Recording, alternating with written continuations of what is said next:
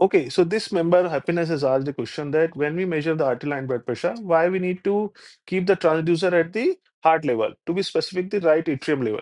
So understand that the heart is the organ which squeezes with immense force the blood into the aorta and it generates the blood pressure uh, of the body. It is generating and all also other contributory factors, the vascular tone and other factors, fluid, fluid uh, are there. But it is the generating organ which is generating the uh, blood pressure with a force. Now, it exerts a hydrostatic pressure at the transducer. So it is just like that. Suppose you have motor in your garden and then uh, water motor in your garden and you have pipe attached to it. So if you put the pipe above to as compared to the motor, the pressure in the pipe will fall. If you keep the pipe below the uh, motor, then the pressure will increase in the pipe. So similarly, suppose this is the patient and we have kept this patient at the transducer at the heart level. Now, suppose this patient is propped up for any procedure or any physio or any anything food uh, oral feeds like this.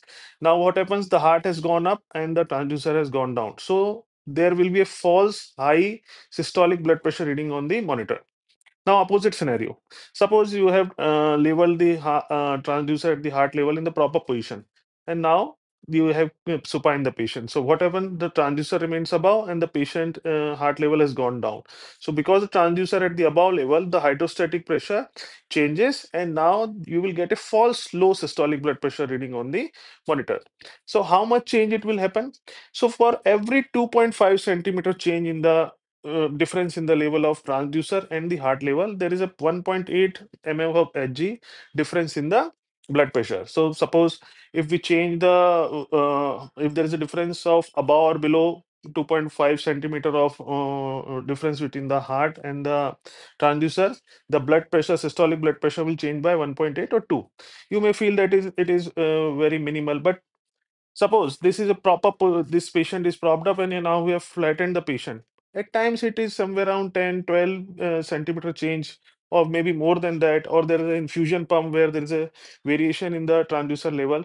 So suppose for a 10 mm, uh, 10 centimeter change or difference in the heart level and the transducer, the blood pressure, systolic blood pressure can, can be changed by 8 mmHg. At times it, this difference is huge.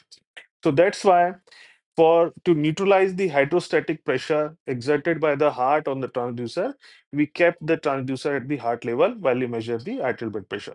Hope this clarifies. Do read more about it.